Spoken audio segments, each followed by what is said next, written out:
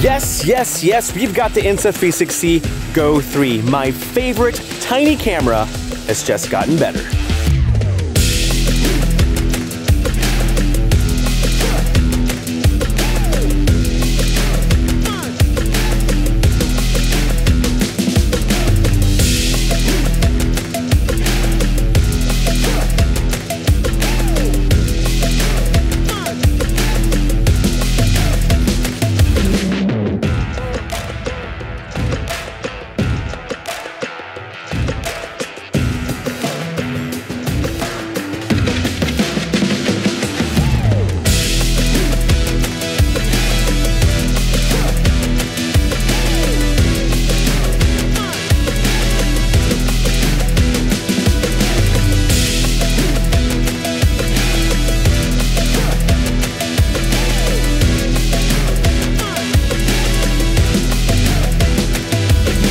Right, Insta360 Go 3 in the house. Obviously a lot different than the Go 2.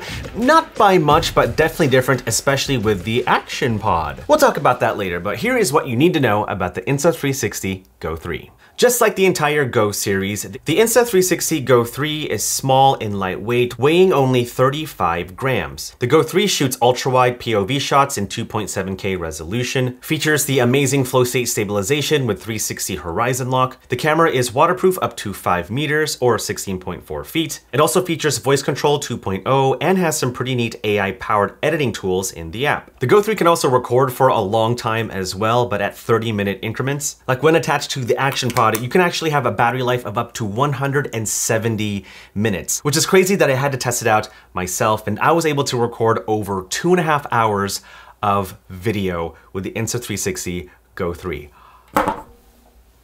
Speaking of battery life, the Go 3 camera itself shoots up to 45 minutes, which is 50% longer than the Go 2. It does overheat, just so you know, especially if you place this camera on the dashboard of your car and you're filming a, a hyperlapse. And whenever the camera overheats, it does stop recording. And so, just so you know. There are some new video modes in the Go 3, modes like pre-recording, loop recording, and time capture. I'll be honest, I, I, didn't test out those modes because I was busy having fun just with the normal video mode and hyperlapse mode. Like if I'm being honest, like those are probably the two modes that you're most likely going to use with the Insta360 Go 3. That and reframe. Reframe is pretty cool. That's when the camera films at an ultra wide perspective. And when you're editing in the app, you can actually change the aspect ratio, whether it's 16 by 9 or 9 by 16 or 1 by 1. It's a pretty cool feature. And so yeah, those are the three most used features that I use with the Insta360 Go 3. Oh, and uh, like I said before, the Go 3 camera itself is waterproof up to 16 feet, but the Action Pod is not waterproof. It is IPX4 water resistance against rain and splashes,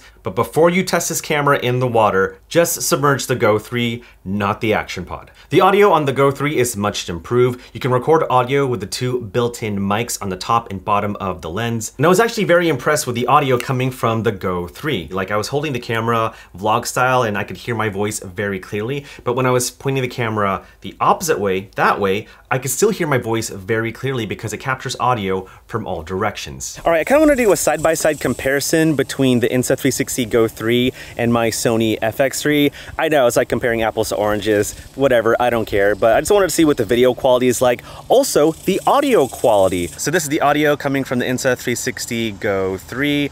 I honestly don't know how well the audio is going to sound. And now this is the audio coming from my FX3 and ECM B10 digital mic. That sound that you're hearing in the background, hear that?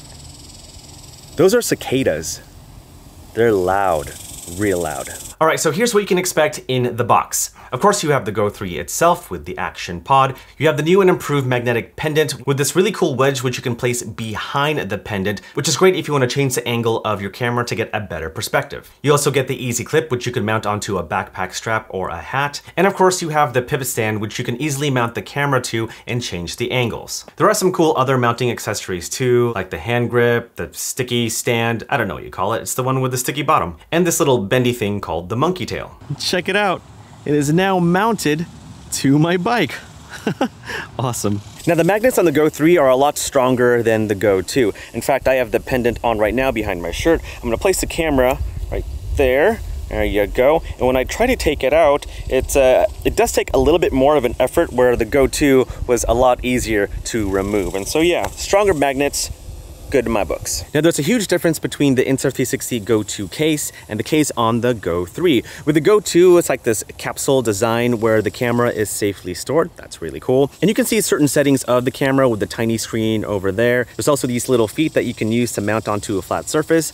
It's a pretty cool case. But the case on the Go 3 is much better because of the flip out screen. How cool is that? And with the flip up screen, you can see what your camera sees. You can change the settings of the camera, like your resolution, your perspective. You can watch playback. And in a way, it almost looks like a traditional action camera, but the fact that you can remove the Insta360 Go 3 from the case is so cool and very handy, especially if you want to trigger the camera from a distance. Look, if I press record right now, You'll see that red dot on the camera and now it's recording on the camera. And if I press the record button again, the camera has stopped recording. That's pretty cool, right? And then to put it away, simply just attach it just like so. And you can't remove it, which is really nice. And if you do want to remove the camera, there's this lock button over here on the side. Press down on it and just does take a little bit of an effort to remove it. Ah, there we go. And now you can use the camera separate from the case. And so yeah, I love the Action Pod and I think is the best feature of the Go 3. Like the camera itself is is pretty good. Like it's it's an upgrade, not a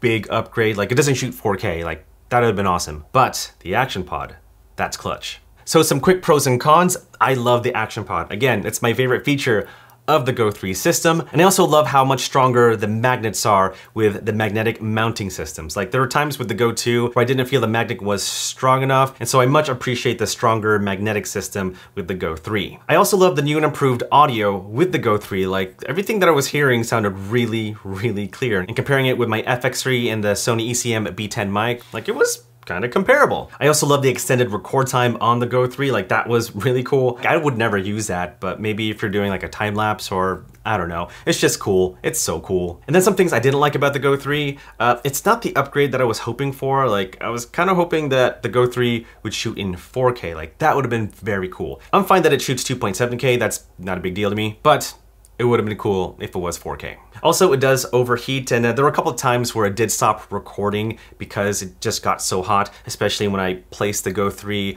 on the dashboard of my car when I was trying to film a hyperlapse. Like, I live in Texas. It's hot in Texas. And with that, I was only able to capture 10 minutes of a hyperlapse. And then one last thing, uh, the Insta360 Go 3 comes in three different storage options. You have the 32 gig version, which will run you 379 US dollars. There's a 64 gig option, which is the one I have right here. That's gonna run you $399. And then there's a 128 gig version, which is gonna run you $429.